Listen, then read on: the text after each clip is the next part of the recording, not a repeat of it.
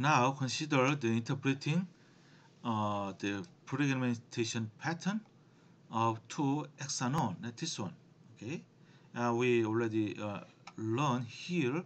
This one has many fragments, and then we uh, this one uh, molecular mass. Uh, this molecular mass at mass number 100, and let's um, consider how these fragmentations occurred. Okay, let's consider fragmentation patterns. Okay? Yeah. What are each peak corresponding to which fragments? Okay? There are the many uh, fragments. Okay? The uh, the main fragments are here.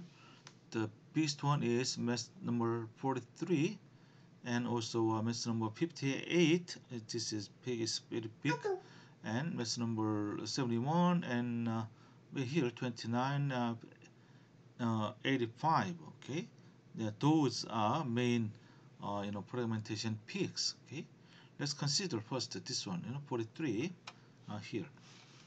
The original structure is here and when uh, this one carbon and carbon bond is uh, uh, broken okay? And here here are two electrons yeah because this is a single bond yeah two electrons uh, form uh, a single bond. One electron you know, goes to this side and the other one is goes to this side okay? When this electron goes to this side and this is a radical but not ion but this is not detected you know, by mass spectrometer. But when this one is uh, goes to this one and then originally uh, it has you know, positive ion okay? This one. Uh, is a you know this part uh, has structure like this and that mass to charge ratio is 43 okay? This is detected. So biggest one is due to this ion and but fragmentation uh, appears like this one okay? This carbon carbon bond is broken okay? Again this one gives a uh, uh, this is positive ion and the host mass number is 85 here okay? and at the same time this uh, uh, you know methyl radical you know, is formed but since this is not an ion this is not detected okay? And another fragmentation is what? Uh, this is what? Heterolytic uh, ah, by the way this is homolytic cleavage because you know the uh, the bond is broken and uh, the electrons are equally distributed to each uh, fragment okay? But this one when uh, two electrons here okay two electrons are totally you know moved to one side one fragment and it is called heterolytic cleavage okay? And this one. And it gives a radical here but this is not a uh, ion but this one? A methyl cation is ion it is detected okay, at mass number 15 here. And another is uh, the McLafferty uh, rearrangement. Uh, you see this McLafferty is the person's name who contributed much to mass spectrometry okay? He he uh, first he found this rearrangement right?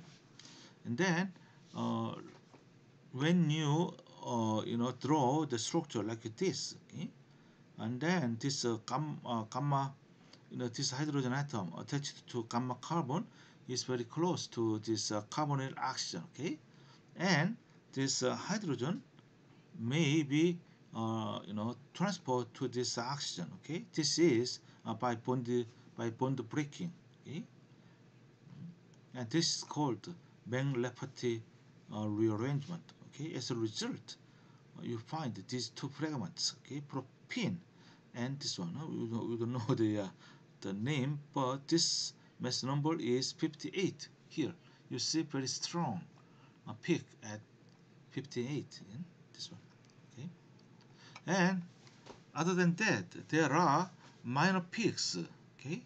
Here there, there are you know these minor peaks um, and mass number 29 here oh this is not a minor not not that minor but uh, this is due to the uh, this ethyl uh, cation and mass number 71 this one huh?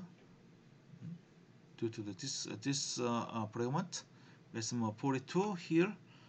40 41 42 here right? This is due to this one and 41 here a little bit uh, this a bigger one uh, this one. And 39 yeah I like that yeah. So there are all kinds of fragments right?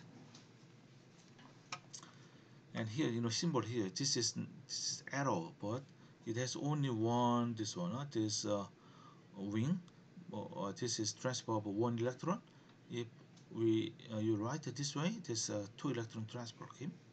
Homolytic cleavage is one electron remains uh, with each fragment heterolytic cleavage both electrons stay with one fragment okay and now let's consider the types of mass spectrometers. Okay? There are many different types of mass spectrometers. Okay? We've already saw, uh, we've already seen this uh, uh, magnetic sector mass spectrometer here. Okay? Here, uh, the uh, molecules, neutral molecules are in, uh, injected from here, and then with this voltage difference, then the ion is formed okay? And then formed the ions now enter this one uh, this ion magnetic uh, magnetic sector okay here. So under the magnetic field this uh, charged particles now this trajectory becomes uh, you know this uh, curved right it, it has a circular trajectory okay and then uh, at it it enters to the detector here okay? depending on mass to charge ratio the trajectory now follows you know is uh, circular but uh, some ions go to the detector and some ions don't go to the detector so by changing this magnetic field okay uh, you can uh, you know some ions now goes to a detector okay so uh, uh, with ions of ions with different mass but uh, constant kinetic energy because uh, applied you apply the constant uh, potential difference uh, let's say 70 volt okay so kinetic energy is the same okay? but it is separated by this magnetic sector okay, under the influence of a magnetic field? With this kind of spectrometer the um, the resolving power is 1000 okay? Which is hmm, 0.1 at mass to charge ratio of 100 okay? Uh, this resolving power is not not good but not bad eh? so so eh, another one is uh, double focusing mass spectrometer okay? Now let's see the uh, ions are entering from the left side to this uh, you know let me see a detector okay? first you know they are using this magnetic sector uh, this one this ion beams are you know focused first and then this is electric sector right this is curved one and then you apply you know the, the electric potential between uh, these two okay and then at this uh, uh electric field the ions are focused again. So yeah, the um, the ions with proper mass to charge ratio is what hmm? leaving this sector. Oh, I'm sorry, I I, I explained in a little bit wrong.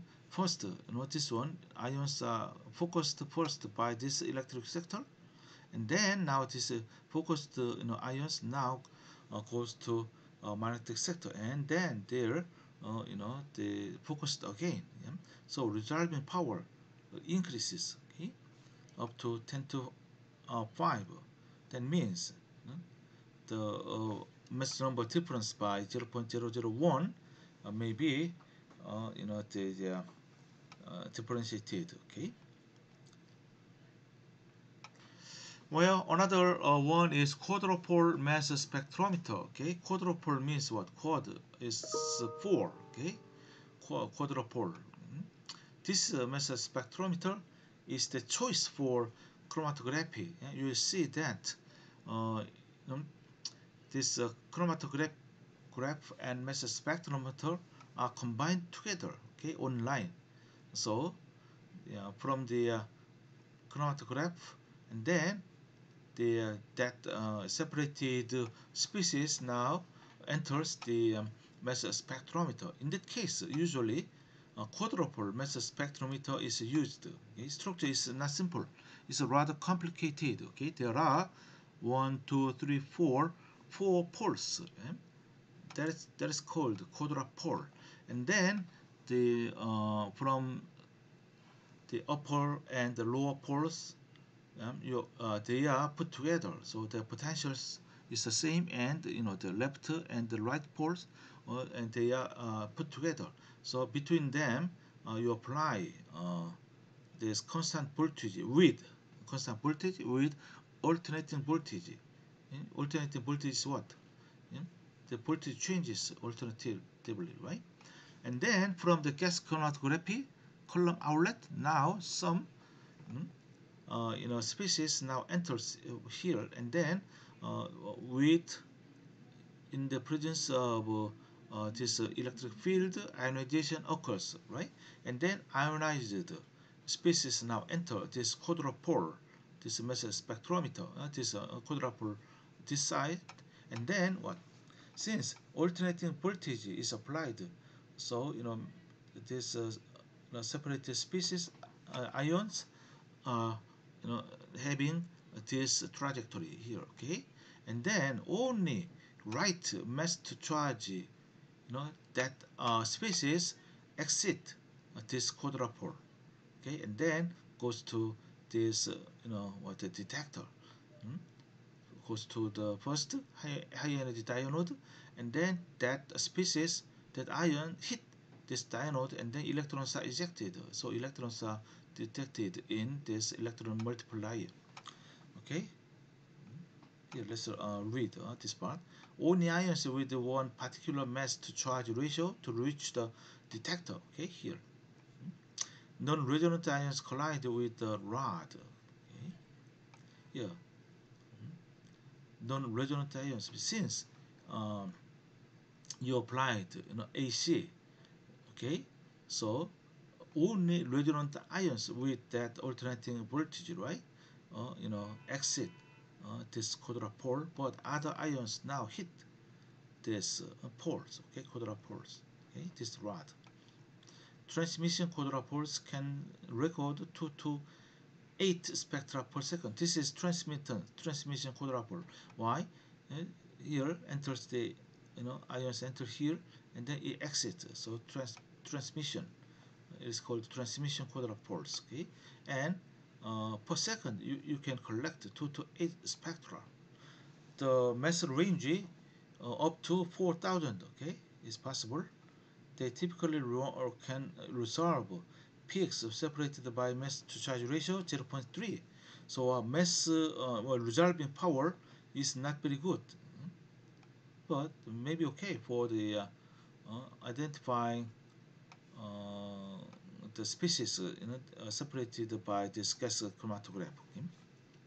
Species exiting the chromatography column pass through uh, a heated connector here, heated connector into the electron ionization chamber.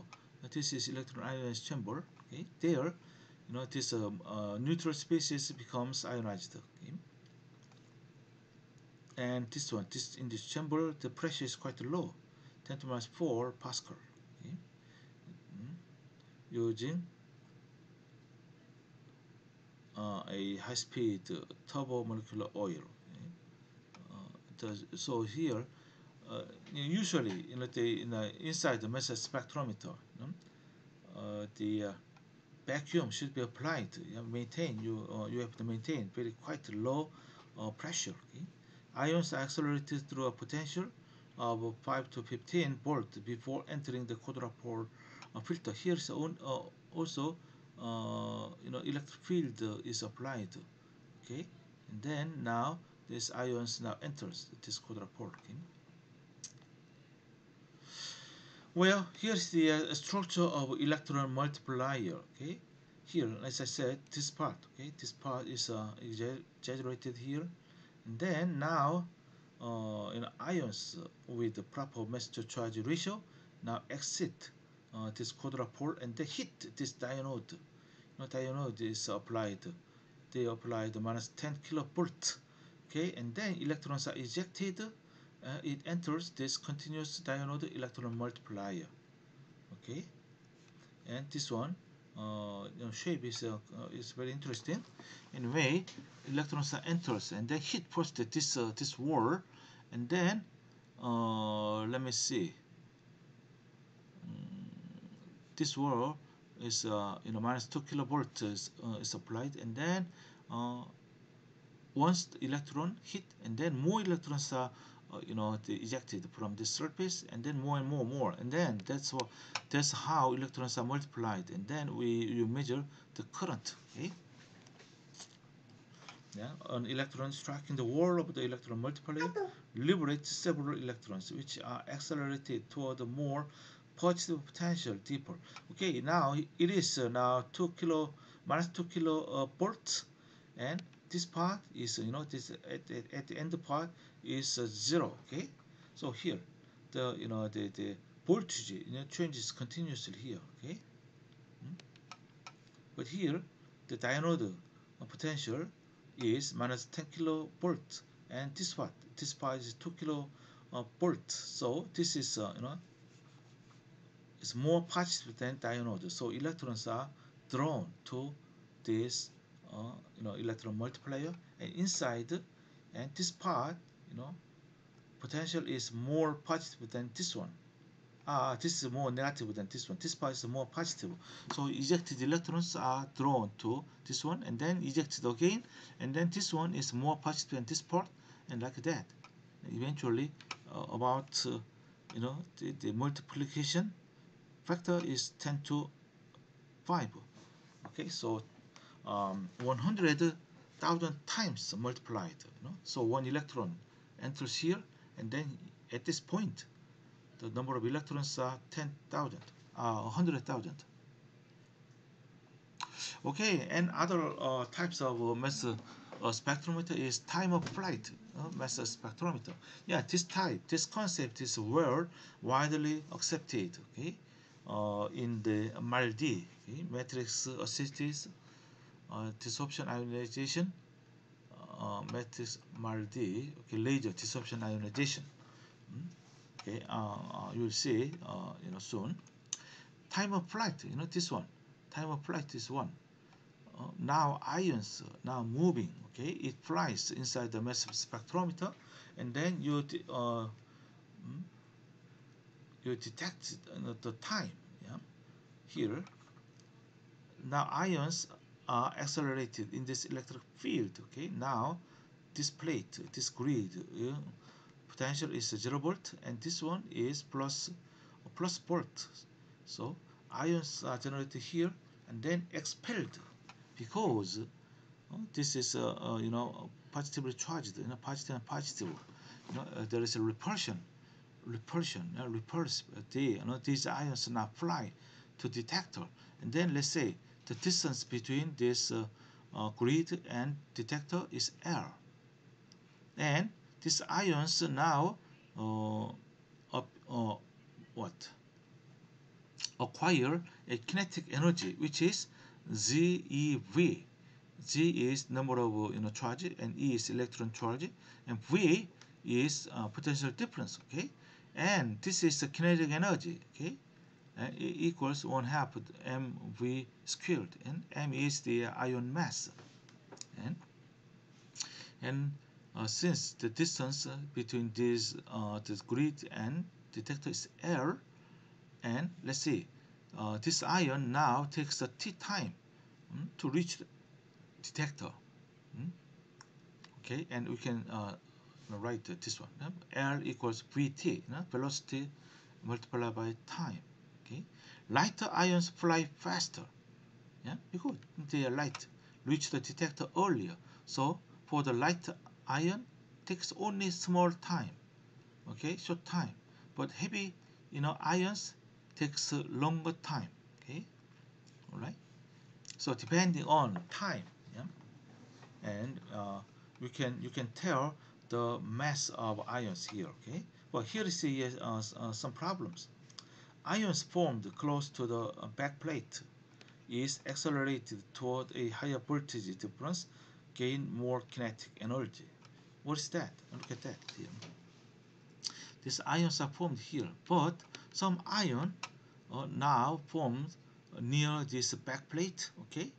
Backplate and then this ion uh, acquires uh, it feels you know voltage potential difference of V okay but what about the, uh, this ion this ion formed you know not at the back plate, maybe inside maybe in the middle of uh, uh, you know this back plate and the grid and then this ion acquires although the same ion it acquires a smaller uh, smaller kinetic energy because uh, potential difference at the middle is smaller than V. Okay. Okay. Here, ions formed close to the grid has less kinetic energy, but is expelled first. Yeah, this one, eh, although it is, it has uh, smaller kinetic energy, but since it is close to grid, it is expelled first. Okay. So what, what is what, what's the problem? Uh, mass determination becomes inaccurate. Yeah, that's the problem. Yeah, with this configuration, the idea is uh, quite simple, quite simple and nice, but there is a problem in mass determination. Okay. Here is a cure. Let's see. You know, uh, up to this part is the same, but here, uh, in this part on the right right hand side, you put you know reflection uh, electrodes you know you put you know many reflection electrodes they are uh, you know positively you know the uh, uh, poised okay here. This one the first grid here uh, it is grounded that means zero volt. And then there are one two three four five six seven and other grids right? They are positively uh, you know uh, positive potential uh, was applied here okay?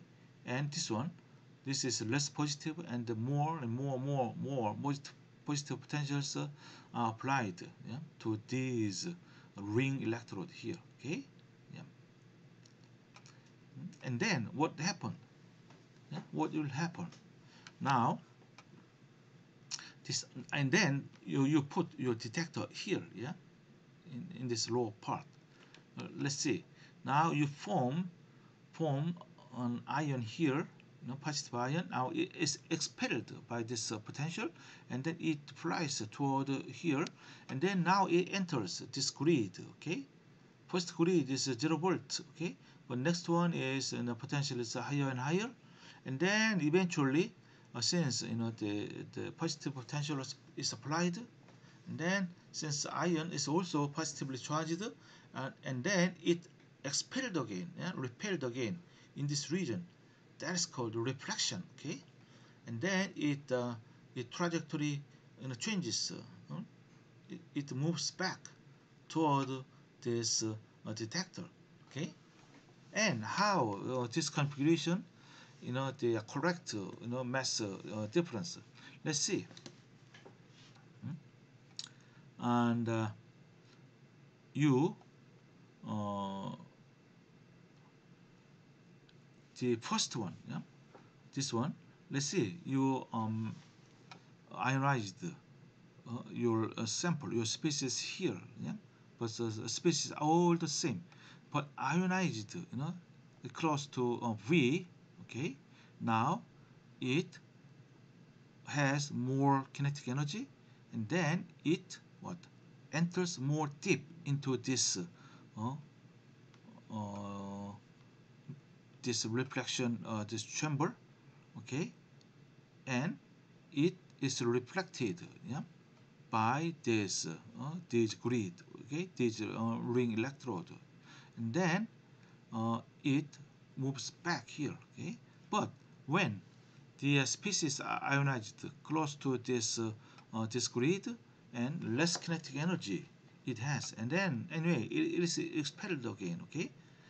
And then it uh, enters you know not deep into this uh, uh, this part but maybe shallow okay? But the at this uh, detector position what? Then arriving time to detector almost identical okay? That's how uh, this problem here okay uh, is removed hmm? all ions of uh, the same mass reach the detector grid regardless of the initial kinetic energy. Okay all ions anyway they are uh, you know reach uh, detector grid okay?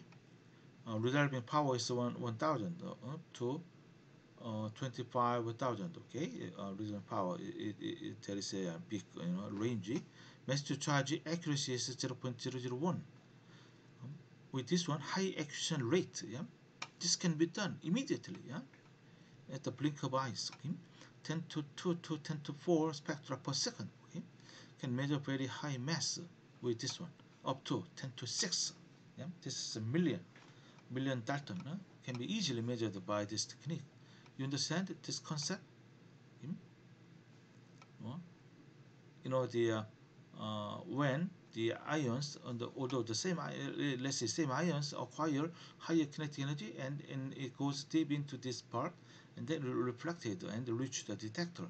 But you know the uh, the ions with low kinetic energy now it's reflected you know in this uh, here and then it also goes to the detector. But time in terms of time arrival time they are almost identical okay